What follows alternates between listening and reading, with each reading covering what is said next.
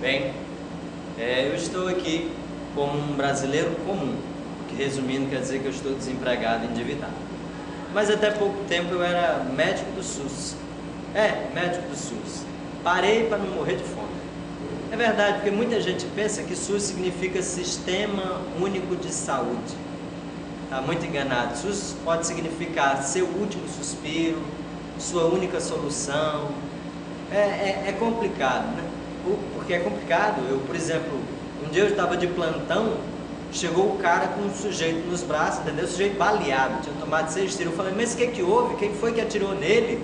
O cara que vinha trazendo o baleado no braço disse, fui eu. Eu disse, o senhor é maluco?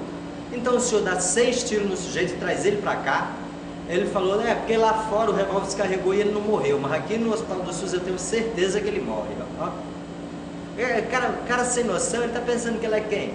Policial militar que enche o cara de tiro e leva para o hospital? Ó. Bem, mas realmente o, SUS está tá complicado. Está complicado pelo seguinte, é, por exemplo, eu era médico pediatra, né? e um dia depois de atender mais de 480 crianças, eu estava indo embora, chega um senhor na porta do consultório e invade já. Opa, doutor, eu sou o próximo. Eu falei, peraí, o senhor deve estar enganado.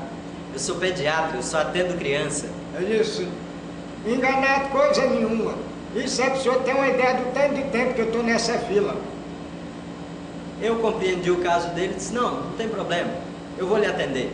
Sente-se aí, por favor, tire a camisa. Ele tirou, fui fazer o exame.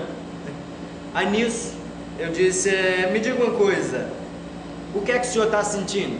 Eu disse, é frio, o senhor mandou eu tirar a camisa, o ar-condicionado está matando. Eu disse, não, o senhor não entendeu. É, mas me diga uma coisa, o senhor tem plano? Ele disse, rapaz, meu plano é ficar bom. Falei, não, não, não, meu senhor, o senhor não entendeu. Eu queria dizer o que é que lhe trouxe aqui. Ele disse, um ônibus. Eu disse, meu senhor, pelo amor de Deus, eu estou querendo que o senhor me diga o que é que o senhor tem. Ele falou, ah, eu tenho uma bicicleta e uma jumenta velha.